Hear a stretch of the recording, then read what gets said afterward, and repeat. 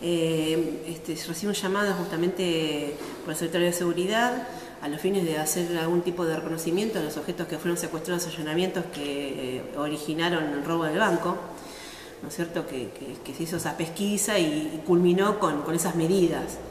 Y en ese rescate, digamos, de, objetos, este, encontré tres de los míos. Eh, una estufa, que la había comprado hace poquito, antes de que me robaran, y unos días antes, eh, justamente en el, en el hipermercado Easy, y una impresora que tenía una particularidad, tiene una rayita arriba, viste que uno reconoce sus objetos más que nadie. Mm. Este, y una, un reloj pulsera. Eh, esas tres cositas que bueno, que incluso no, igual no, no profundicé porque había un montón de cosas, no profundicé en la búsqueda porque en definitiva lo que me interesaba más que digamos recuperar las cosas era ponerme digamos a, al conocimiento de que eran estos los que habían estado en mi casa o que, me dé un poquito más de tranquilidad. Pero la verdad que con todo esto que está pasando no sé si me da más tranquilidad o más inquietud, ¿no? porque eh, esto tiene que ver con, con la maldita policía, este, yo voy a disentir con lo que dijo el, intendente respecto de que no va a tener en cuenta los dichos de los, delincuentes. Yo creo que sí que hay que tenerlos en cuenta los dichos de los delincuentes, y muy en cuenta.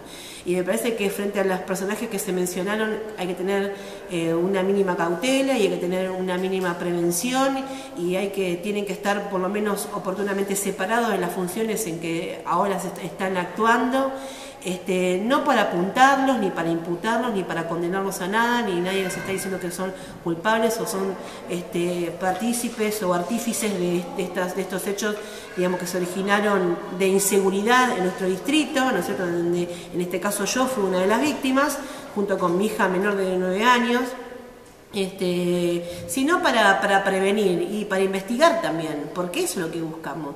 Buscamos resultados en las causas y tiene que ver con una buena investigación.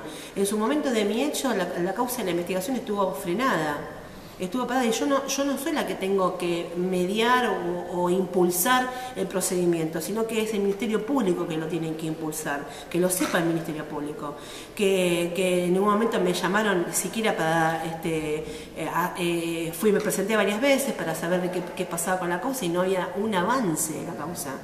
Eh, también aporté datos de otras causas que podían haber estado conexas y no las anexaron, no las sacaron por cuerda, con casi características. Y todo eso se fue minimizando hasta que llegó esto que explotó. digamos, ¿vos cómo tomas este video que, se vio en la televisión nacional? Eh, como, como un mensaje eh, como un mensaje al sector político, ¿no es cierto? Eh, como un mensaje, digamos, de alerta, como un mensaje de, que está todo armado, que está provocado, que, en definitiva eh, tiene que ver con, esta situación que no se está armando desde la provincia e incluso desde la nación. Por eso el apuntamiento hacia Macri, por eso el apuntamiento hacia Vidal. Me parece que por ahí las situaciones o las problemáticas no está más bien en el llano, digo en los distritos, sino más bien también desde los ministerios, que hay que prestar mucha atención frente a eso, ¿no es cierto? Porque, por ejemplo, de acá yo vi una nota que salió desde el Ministerio de, desde Secretaría de Seguridad por Fernández y también por el mismo intendente pidiendo un cambio o una intervención en la DDI y no se hizo. Y yo pregunto, ¿por qué no se hizo? Si ya hubo una alerta, si ya hubo una cuestión, ya hubo ciertas declaraciones con respecto a las sospechas sobre la DI, ¿por qué no se hicieron los cambios? Digo, no, no minimicemos las cuestiones porque estamos todos en riesgo. ¿sí? A mí me robaron, está bien, pero hay muchos ciudadanos que también pueden estar en la misma situación en que hoy yo me encuentro.